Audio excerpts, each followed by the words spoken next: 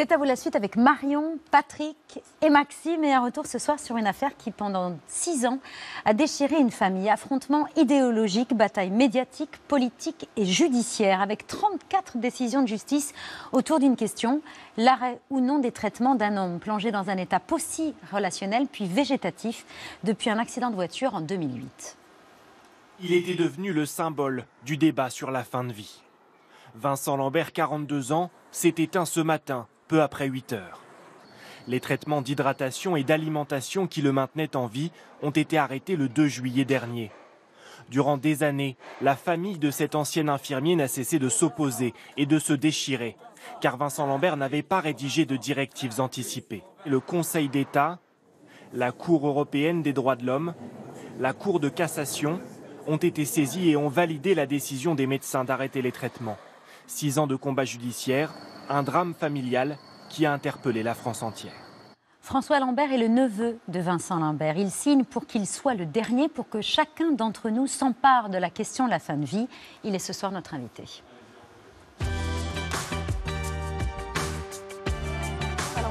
Merci de votre présence ce soir sur le plateau de C'est à vous à l'occasion de ce livre pour qu'il soit le dernier, la vérité sur l'affaire Vincent Lambert. Lambert.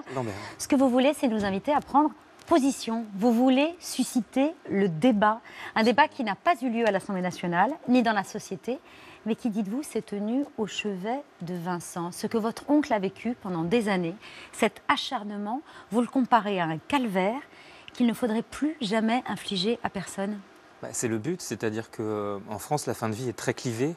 Vous avez en gros les défenseurs de la loi Leonetti, qui est euh, le résultat, c'est l'affaire Vincent Lambert. Et vous avez des gens qui sont favorables à une euthanasie qui, euh, qui serait presque sans limite, qui serait euh, quelque chose de très peu encadré ou d'une liberté totale. Et entre les deux, on empêche les gens de se saisir de cette question pour que des gens qui auraient probablement des avis un peu plus modérés, un peu plus euh, généraux, nuancés, s'organisent et justement pour éviter que ce genre d'affaires n'arrive et que les deux forces que je viens de décrire s'empare d'un patient finalement et euh, provoque un statu quo pendant des années comme ça. Vincent Lambert est mort le 11 juillet 2019. Vous étiez à ses côtés jusqu'à ces derniers moments. Vous avez passé une nuit entière à ses côtés. Euh, vous racontez comment son corps a lutté pendant neuf jours après l'arrêt des traitements. Les médecins vous ont assuré qu'il ne souffrait pas, mhm. mais vous en avez douté bah, C'est-à-dire qu'en fait, ils, peuvent, ils ont la prétention d'assurer des choses qui ne, qui, ne, peuvent pas vraiment... Euh, ils ne peuvent pas eux-mêmes en être sûrs. Scientifiquement, c'est pas possible de. On pense qu'il n'y a pas de conscience, mais euh, s'il y a une conscience, c'est pas une conscience au sens où on l'entend, c'est-à-dire euh, la capacité de développer un raisonnement ou ce genre de choses. Mais il peut y avoir un tout petit peu de conscience, et s'il y a un tout petit peu de conscience, c'est la conscience d'un corps qui souffre. Et ils ne peuvent pas en être certains qu'ils ne souffrent pas. Et au-delà de ça, de toute façon, il y a, des, euh, il y a une image de l'être humain qu'on essaie de sauvegarder en toute occasion, y compris à la mort. Et on ne peut pas. Jusqu'au bout. Voilà, une personne, quand elle est morte, on ne peut pas aller saccager sa tombe en disant bah, écoutez, de toute façon, il ne souffre pas, il ne ressent rien. Donc, mm. euh, c'est la même chose pour, euh, pour ce genre de vision. C'est une vision qui est extrêmement euh, froide et cynique médicalement. Sous prétexte de la sédation profonde, oui. on considère que. on vous dit vous vous inquiétez pas, il ne souffre pas. Moi, au moins, je ne passe pas à l'acte. Sauf que quand vous arrêtez des traitements, vous, de fait, vous passez à l'acte. Il n'était plus nourri, il n'était plus hydraté, mais paradoxalement, scène surréaliste que vous racontez, les infirmières soignaient une blessure qu'il avait au pied. Mmh moi, j'étais en train de dormir. Il devait être 3 heures du matin. Elles faisaient des rondes toutes les demi-heures ou toutes les heures. Et avec leur petite lampe de poche, en essayant de faire vraiment le moins de bruit possible, elles regardaient la plaie pour savoir si ça se résorbait bien, s'il fallait pas des traitements nouveaux pour essayer de faire en sorte qu'elle se résorbe.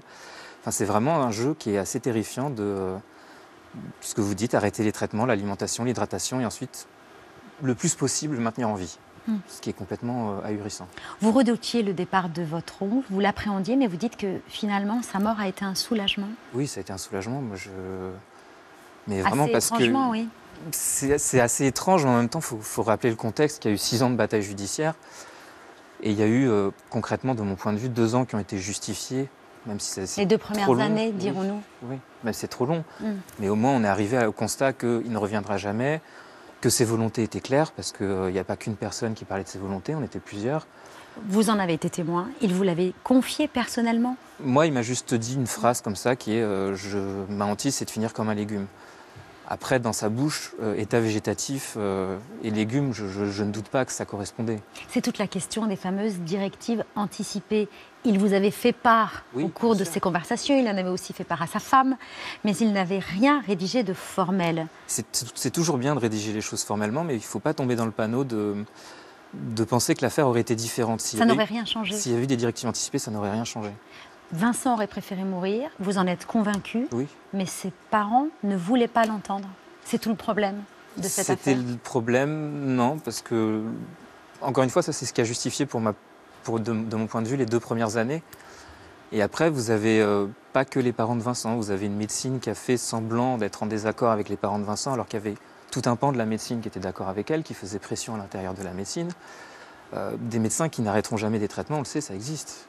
Et quand vous avez une loi qui les protège et qu'eux-mêmes demandent à être rassurés sur le fait qu'ils pourraient maintenir Vincent Lambert en vie, euh, c'est ce que ça donne. C'est-à-dire que vous avez 2013-2015 euh, qui sont justifiés, ensuite 2015-2019, où vous avez une médecine qu'on rassure à longueur de temps, en lui disant si, vous étiez le médecin de Vincent Lambert, vous pourriez le maintenir en vie. Mm. Non, vous pourriez le maintenir en vie, vous auriez le droit de le faire et euh, il n'y aurait aucun problème à le faire. Ce n'est pas, pas juste les parents de Vincent. Les parents de Vincent, c'est une idéologie qu'ils ont derrière eux, mais qui est aussi dans le monde médical. Est-ce que vous avez écrit, vous maintenant, des directives anticipées? Oui, j'ai écrit mes directives anticipées.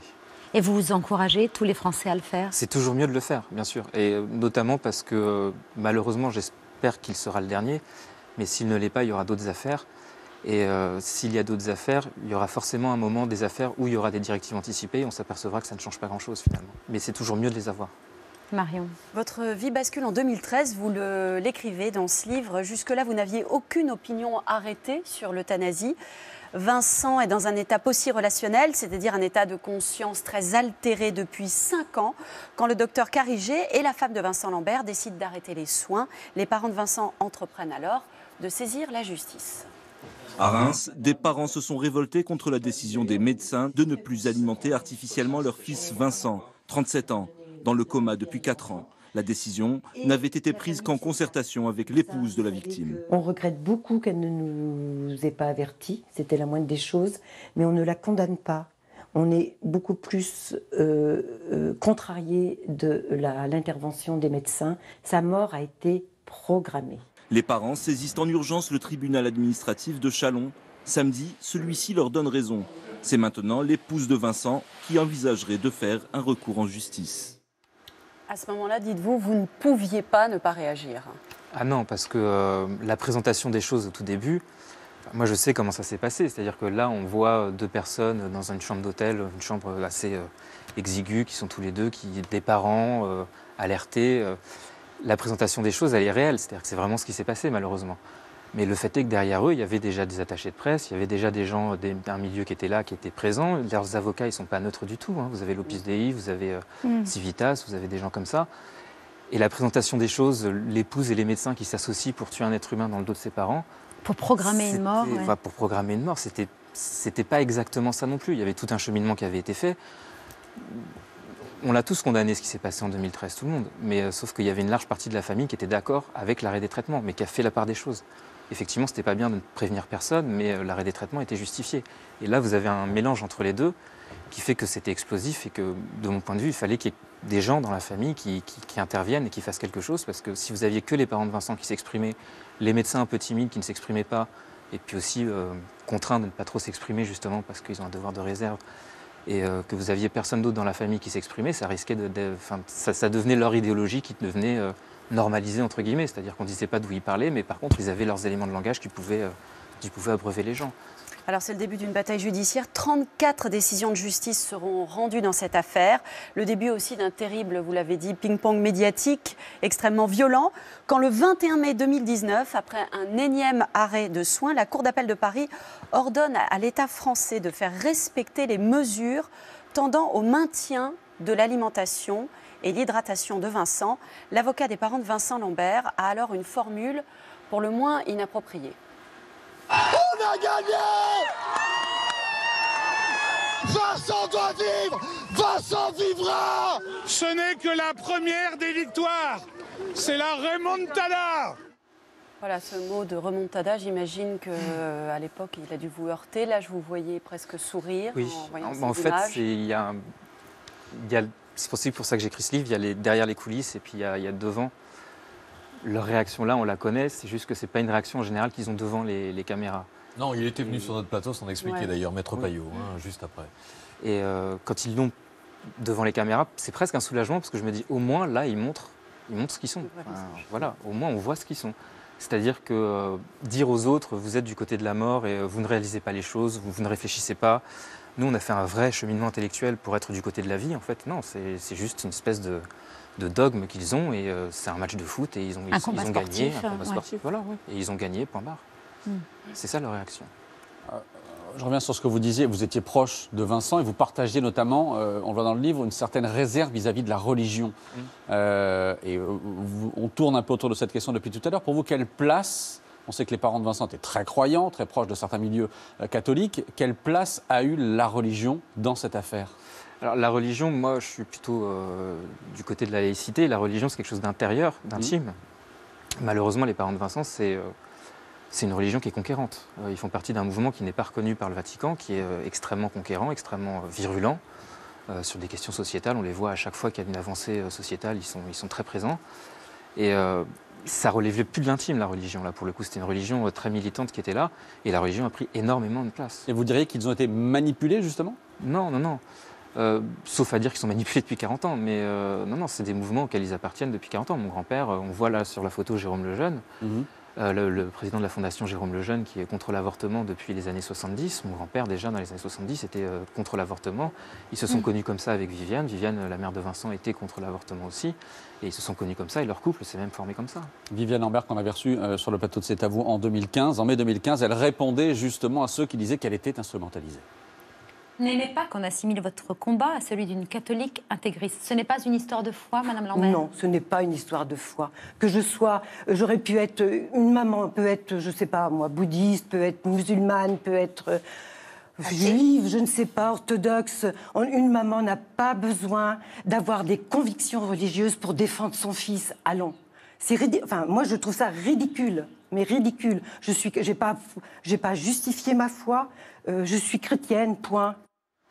Comment vous réagissez face à ces mots-là? Moi, j'y vois une, forme de certitude absolue et une forme de militantisme. Ça peut paraître violent, mais euh, quelqu'un qui dit euh, ce n'est pas parce que je suis catholique intégriste que j'ai ces opinions-là, parce que ce sont des intégristes. hein, ils sont catalogués comme ça en tout cas. Ça veut dire mes opinions sont la norme. Ça veut dire que c'est pas parce que je suis comme ça que je pense comme ça. Tout le monde devrait penser comme moi.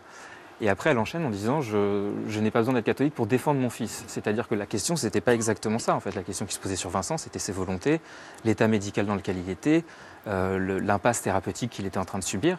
C'était ça les questions. Et elle, elle prend une question en disant je défends mon fils. C'est-à-dire qu'il y a des gens qui veulent attaquer mon fils, je défends mon fils. C'est quelque chose de très abrupt et de, finalement de très idéologue. Vous imaginez aussi la difficulté d'une mère de Bien laisser sûr, partir mais- son fils. Évidemment, évidemment. Vous avez été en contact avec eux toutes ces années, avec les parents de Vincent? Je, très très peu. Au début, j'essayais. J'ai beaucoup échangé avec Viviane euh, par mail au début. On n'avait jamais échangé par mail avant d'ailleurs. Mhm. Euh, C'était des très longs mails. Euh, j'essayais de comprendre son point de vue, j'essayais d'expliquer le mien, etc. etc. Mais petit à petit, non, j'ai compris que c'était pas, que c'était plus possible. Enfin, voilà. Et maintenant, je pense que ça sert à rien. J'ai pas de demande de leur part et eux, je crois pas que de notre côté, je crois pas qu'on demande non plus à, à les rencontrer. C'est pas. Parfois, c'est mieux hein, de, de passer à autre chose que d'insister sur certaines choses. L'histoire de votre ongle, elle a bousculé, elle a euh, complètement changé votre vie. Euh, vous, pensiez faire de votre passion, le cinéma, votre métier. Enfin, en tout cas, c'était Je sais pas combien de temps ça allait durer, mais C'était le rêve, en tout cas. Euh, puis, euh, l'accident de Vincent est survenu et vous vous impliquez énormément au point de vouloir devenir avocat. Vous venez de prêter serment Mm. avec des idées très précises en tête, notamment de demander, enfin d'obtenir ou de mettre sur la table la possibilité de la mise en place d'une juridiction spéciale pour éviter justement ce qu'on a vécu là dans l'affaire Lambert, la succession de recours et de juges qui se prononcent. Quel- à quoi ressemblerait cette juridiction spéciale? Alors, de mon point de vue, il y a eu plusieurs problèmes. Déjà, le fait que les médecins, euh, au début, ils ne savaient pas forcément qu'il allait avoir des, procédures, mais après, ils le savaient à chaque fois. Et vous avez trois décisions, trois médecins qui, à chaque fois qu'ils vont prendre une décision, savent qu'il va y avoir des procédures. Et c'est une espèce de- d'épée de Damoclès. Ils prennent leur décision, on attend et machin. Et euh, donc, cette juridiction, pour moi, déjà, elle pourrait être saisie par le médecin avant. Euh, quand il sait qu'il va y avoir un problème, il la saisit avant. Euh, ça peut être une juridiction qui conseille, justement, et qui, est là pour éviter aussi qu'il y ait une dérive, c'est-à-dire qu'elle guide les médecins éventuellement s'ils pensent qu'ils vont trop loin. Elle peut leur dire stop. voilà, c'est pas une, juridiction, c'est pas, elle contrôle pas après. Parce que si vous contrôlez après, effectivement, vous êtes au mm. pied du mur. c'est une juridiction dont j'imagine qu'elle serait composée de, juristes et de médecins, mais aussi d'infirmiers et d'aides-soignants. Euh, c'est-à-dire tout ce qui fait que euh, tous les pans en fait, qui sont concernés par le, par le processus, euh, les infirmiers et les aides-soignants sont beaucoup plus en contact que des, patients que, que, les médecins. les médecins ont la connaissance scientifique et les juristes ont la connaissance juridique. À mon avis, il faudrait tourner régulièrement, c'est-à-dire que ces gens-là ne pourraient pas tout le temps rester dans cette juridiction parce qu'il y aurait une forme de nécrose et puis c'est pas très sain vu mmh. l'enjeu. Le, vu mais par contre, vous ne pouvez pas laisser ça à des tribunaux, à mon avis, euh, lambda, parce que vous allez tomber sur des juges, la Cour de cassation, la Cour d'appel, je veux dire, on a vu. La Cour d'appel, la décision de mai 2019 était très curieuse, très orientée, ah, avec des attentes militante. particuliers. Hein. elle était militante. Elle était très militante. Ça avait frappé beaucoup d'observateurs. Oui, à ce oui, Donner un droit à la vie dans la Constitution, c'est pas la Constitution protège la vie, mais il n'y a pas de droit à la vie en tant que tel. Et le droit à la vie en tant que tel, c'est un, pour les juristes, c'est un marqueur très clair. C'est euh, les anti-avortements qui le demandent depuis 40 ans. Et quand eux donnent un droit à la vie dans la Constitution, ben, c'est un message qui est très très clair. Et si vous tombez comme ça sur des magistrats, vous les choisissez pas. C'est pas vos magistrats, vous tombez sur des gens comme ça. Voilà, donc une juridiction spéciale, ça servirait à ça justement, à empêcher mm. ce genre de choses. Et à ce aussi que les proches qui sont favorables à un arrêt des traitements, parce qu'on parle toujours des, médecins qui ont voulu arrêter les traitements de Vincent et les parents qui s'y sont opposés, on parle jamais des médecins qui ont voulu maintenir en, en place les traitements de Vincent et à qui on a donné raison. Et ça, c'est très problématique aussi. Normalement, quand vous avez une loi surtout sur un sujet aussi sensible que ça, vous savez qu'il y aura des médecins qui, n'appliqueront jamais la loi. Et il faut pouvoir aussi faire des recours pour que ces médecins soient obligés de quitter leurs patients et qu'un autre les remplace, par exemple. Pour que la loi soit appliquée, mais une loi qui doit évoluer également, la loi Leonetti. Oui, oui ben, on a parlé euh, tout à l'heure de la, fin de Vincent les, derniers jours. Euh, ce serait bien d'arrêter cette hypocrisie, parce que je quand un médecin arrête les traitements, j'ai une espèce d'innocence de, vouloir maintenir le médecin dans une espèce d'infantilisation, de, dire... Euh, vous arrêtez l'alimentation et l'hydratation, le patient meurt une semaine après, mais vous y êtes pour rien. Il n'y a aucune cause à l'effet. Et ça aussi, ça, traduit une certaine euh, prééminence médicale qui veut qu'on arrête des traitements. Euh, le patient part parce que euh, des traitements sont, à arrêter. S'il n'y avait pas de traitement, il y a des patients qui sont dans une souffrance inouïe, mais si vous arrêtez les traitements, ils restent. Et vous ne pouvez rien faire. Et le but de mettre le patient au centre, c'est quand même ça, c'est quand même de démédicaliser au maximum et d'humaniser au maximum la, question. Il n'existe pas de chiffre officiel, mais on estime que 1500 patients en France euh, sont placés soit dans un état végétatif chronique, soit dans un état post-relationnel, c'est-à-dire de conscience minimale.